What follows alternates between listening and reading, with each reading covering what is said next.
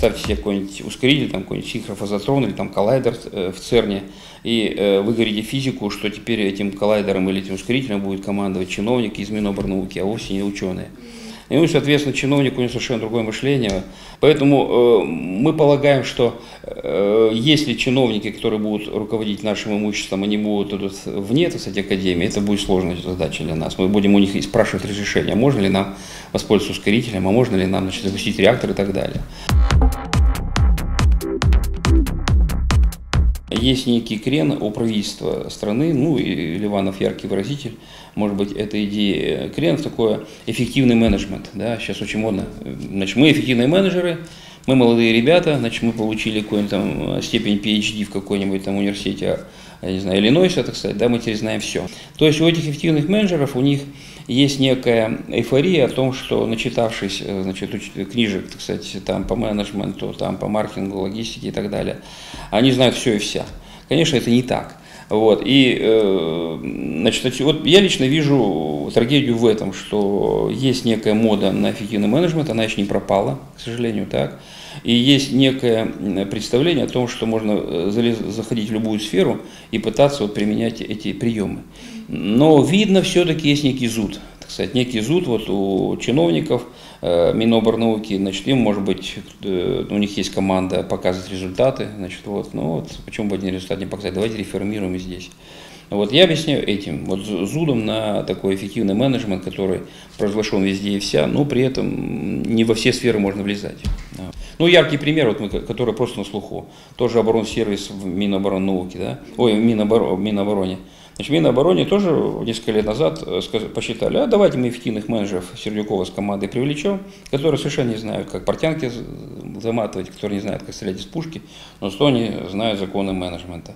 Вот, хорошо они пришли, и в результате мы видите с вами коррупционные схемы с оборонсервиса.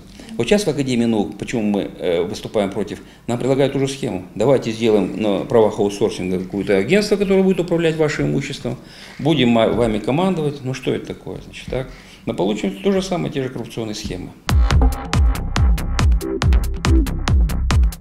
Новый проект федерального закона, э, он, так сказать, который внесен во втором чтении, и, и здесь говорится о том, что отделения останутся, но отделения теряют э, статус юридического лица. Вот до сегодняшнего э, момента была какая ситуация?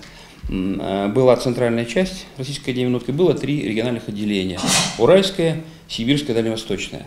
И мы получали отдельное финансирование. Мы э, до сих пор являемся главным распределителем бюджетных средств. То есть мы наравне, скажем, там, с Министерством образования, с Министерством обороны, например. Значит, к нам поступают деньги, определенная строка бюджета, она заложена в бюджет Российской Федерации. И это позволяет решать многие проблемы, ну, как раз э, проблемы региона. Мы имеем возможность деньги перераспределять и, так сказать, направлять на исследования. Если они все будут сконцентрированы в Москве, а сейчас к этому приводит, то есть фактически от э, региональных отделений лишают статуса юридического лица, то, конечно же, в любом случае, э, будь то московские чиновники от Академии наук или будь то московские чиновники просто от Миноборнауки, всегда есть тяга э, финансы э, где сконцентрировать? Внутри Садового кольца. Конечно, для правительства это удобно. Да, возникает условно говоря, один, один распорядитель, с которым можно вроде разговаривать.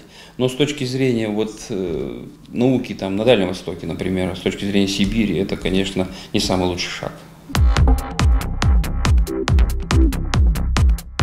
Проблемы в Академии существуют, это совершенно известный факт. Это и проблемы, может быть, э, некой ротации кадров, так, некого, не, необходимости некого омоложения директорского корпуса, так, вот, проблема может быть э, более такого жесткого госзаказа. У нас существует сейчас госзаказ уже два года, и мы работаем в этом режиме, но можно его поставить более, так сказать, государственно ориентированное значит, какое-то направление.